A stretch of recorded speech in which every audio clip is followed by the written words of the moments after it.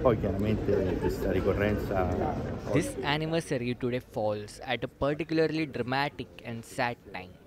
Our thoughts and hearts can only go out to the victims of this terrible attack perpetrated by Hamas and to the many hostages. Today, I would really like to think of the hostages and ask that they be freed and return to their loved ones and families.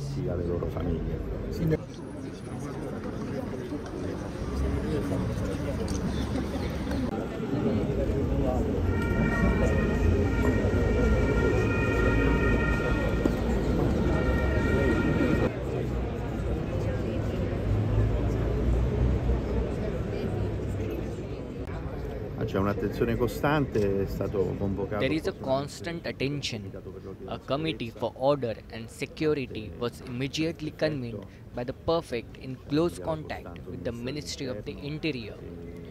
There is the utmost attention and commitment to ensure and guarantee security and serenity to all the citizens of Rome, but especially to the citizens of Rome who are also members of the Jewish community, to whom all our closeness and support goes. la vicinanza il sostegno.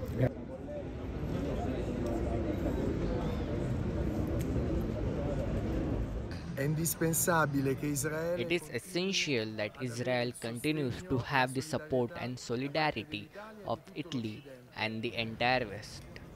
The modalities of this terrible war, a war of horror that enters people's home to tear them from their homes and take them to the tunnels where they will suffer unspeakable violence, will soon be found at home, in Europe, in Italy, in America, unless this support is confirmed. Israel must succeed in winning this war, which is a war of the West and not only of Israel.